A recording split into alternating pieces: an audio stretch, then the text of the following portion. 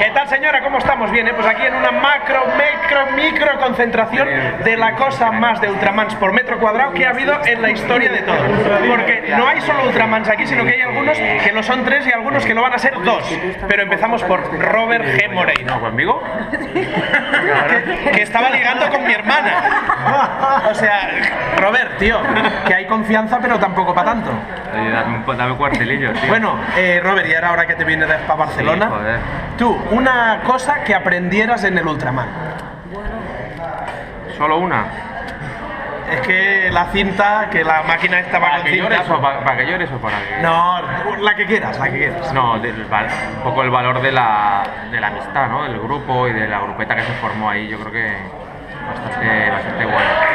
¿Repetirías? Sí, Mira, te han aplaudido y todo por ahí. Dicen, ¡ay, bravo!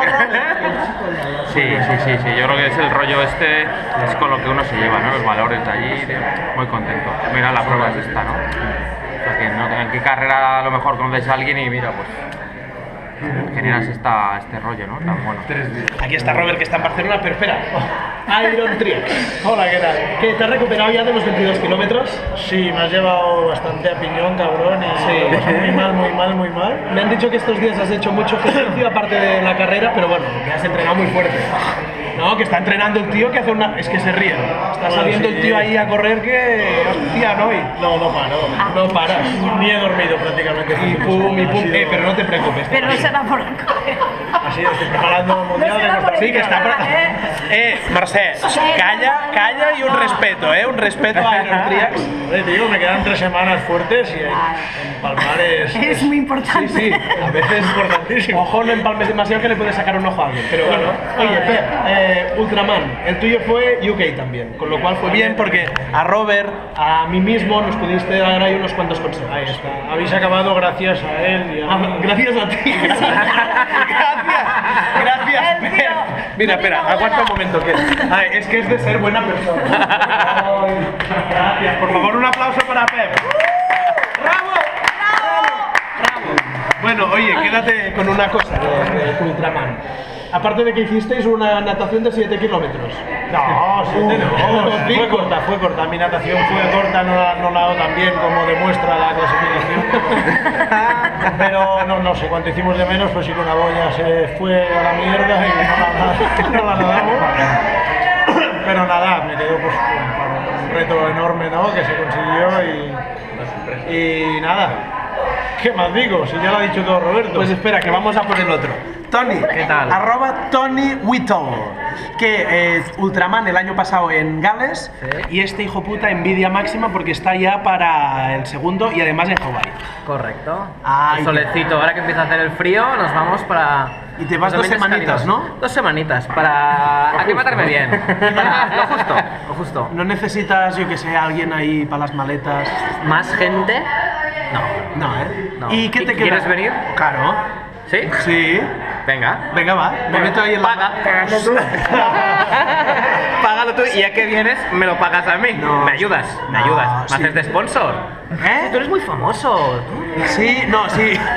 Mira, eh, en, ahí en el Ultraman, os lo dirá Borja, os lo dirá Marcel, colgamos cuando estábamos en la autopista una captura de pantalla de mi, app- de mi app de la caja donde ponían menos 7 euros. no eso es Photoshop, Menos- No, no, y Photoshop, y hostias, que tuvimos que hacer allí. a ver, No sabíamos si podíamos volver o no podíamos volver. ¿Y cómo no llamas al jefe, tío, que te haga una transferencia Dije, o algo? dije Joseph, y digo, "Mam, me pillas en un mal Me momento. pillas mal, Ahora pillas mismo estoy aquí en una operación y... falte de nada. que no. A ver, Tony, ¿con qué te quedas tú de Gales? Y bueno, ¿y con qué te quedas de lo que vas a hacer en Hawái? De Hawái de momento, solo este señor me está metiendo miedo. Lo primero, ya voy con miedo, por su culpa. Mucho calor, viento, 1500 metros, co- que coja abrigo. ¿A Hawái abrigo? Decir, venga, coge abrigo. ¿A Hawái? Cogido el tanga solo. no, y Gales, eh, el compañerismo. El compañerismo. Con todas las asistencias, el ambiente. Sí, Sí que es verdad que antes de ir lo dijiste, hostia. Sí, yo os avisé también. Todos los equipos es como si fueran tu Pues equipo. una te gran familia, todos te ayudan, te guían, es una gran, al final es una gran familia. La familia Ultraman es, es una gran piña. Sí, sí. Bueno, y espera, que me voy para la otra parte de la mesa, que tenemos a Josefina. A ver.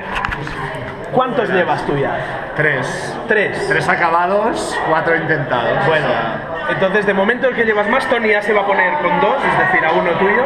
Aún, aún hay un respeto, aún hay un respeto, aún, aún hay un respeto.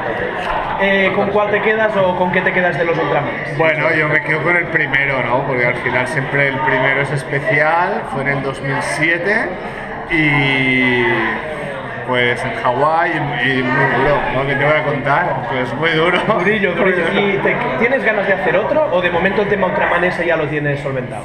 No, siempre, yo creo que es, es una prueba que me gusta y siempre está ahí y, y al final para mí es muy especial porque en cierta medida cambia un poquito mi vida, pero de momento no. Lo- Los 10 kilómetros de natación dan mucha pereza. es suficiente. ¿eh? Y espera, que voy primero a preguntar a Marcel. ¡Eh! Silencio, silencio. Marcel, como asistencia, ¿qué dices tú de Ultraman? ¿Qué pasa? Pues la verdad es que fue, fue brutal, fue brutal eh, lo que decíamos, el compañerismo, la gente que conocí, el sufrimiento, el equivocarse, lo que aprendí en, en- en tres días que estuve allí, aprendí muchísimo de todo el mundo, de mí misma, de ti, de Borja, de los compañeros.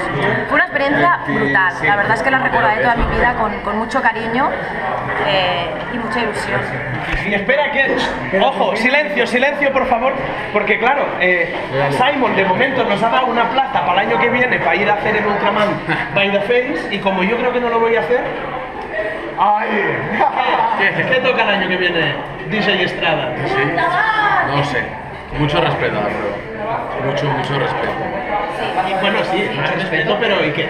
Más respeto que a Tony, por ejemplo. Estoy ahí. ¿Estás ahí? Bueno, pues nada, que el chaval tiene ahí tiene un par o tres de días que se lo tiene que pensar, pero ya nos irás informando.